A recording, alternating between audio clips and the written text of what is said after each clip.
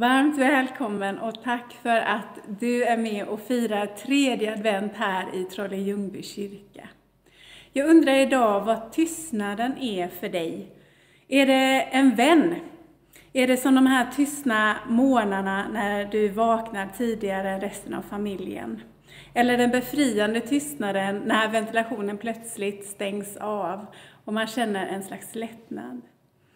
Eller känns tystnaden mer som ett skrik, där, där vi sitter ensamma i hemmet och bara hör klockans tickande, som påminner oss om allt vi borde göra och hade kunnat göra om inte. Vi lever i ett samhälle där tystnad tycks vara en bristvara. Vi har varken tillräckligt med tid eller tystnad för att kunna stanna upp och tänka efter. Men nu har bruset mattats av och tomrummet efter alla ljud och alla intryck är påtaglig. Den pockar på oss, den vill något med oss. Och nu när vi inte längre lever i det normala och av det normala, så får vi frågan, vad är det egentligen du längtar efter när du säger att du längtar efter normalitet? Jag tänker på Frodo i sagan om ringen, när han vill längta sig bort från det onda som drabbade hans tid och plats. Han säger, jag önskar så att detta inte skulle behövt hända min tid. Och vi kan känna igen oss i hans längtan. Men då svarar hans vän Gandalf honom, det gör jag också. Och det gör alla som lever i sådana tider. Men det är inte deras sak att bestämma över. Allt vi kan bestämma över är vad vi gör med den tid som har givits oss. Så min fråga till dig idag är, vad vill du göra av den här tiden? Vågar du verkligen vara här och nu? Mitt i den tråkiga, stundtals outhärdliga tystnaden, utan att fly, utan att sappa, scrolla, swipa iväg dig någon annanstans. För det är här i tystnaden som vi kan höra Gud. Det är vår tystnad som banar väg för Herren.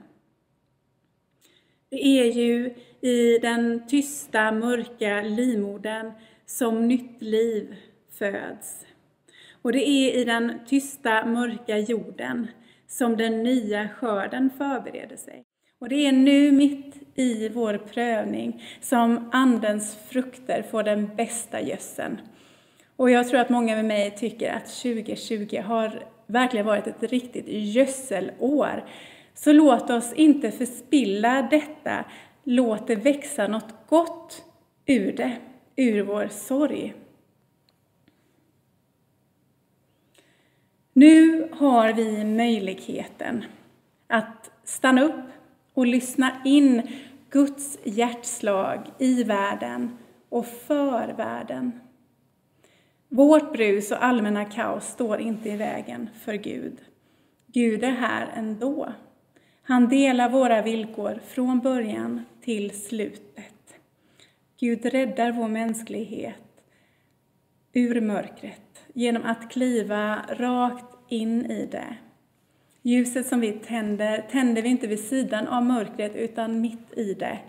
Tonen från himlen ljuder inte vid sidan av tystnaden utan mitt i den.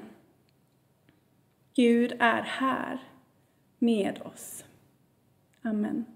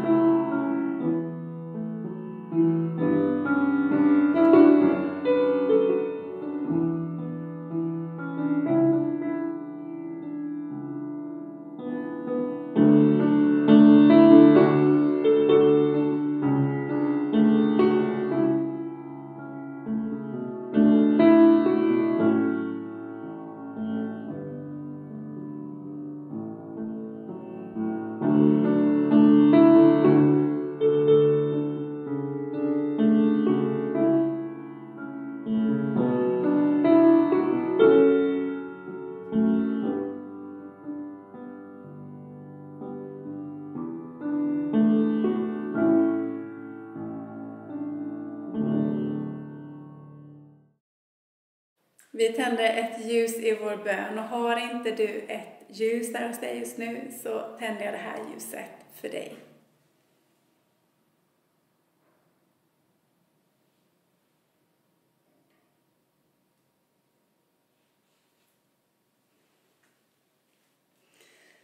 Herre vår Gud, himmelske Fader.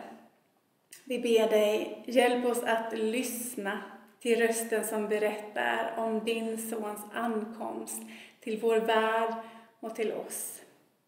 Hjälp oss att söka ditt rike. Bana vägen fri från all vår uppgivenhet, all vår hopplöshet. Fyll alla svackor och alla dalar med din kärlek och glädje. Tänd i oss ditt ljus, din helige Ande, som kämpar för allt levande i din skapelse. I Jesu namn. Amen. Ta så emot Herrens välsignelse.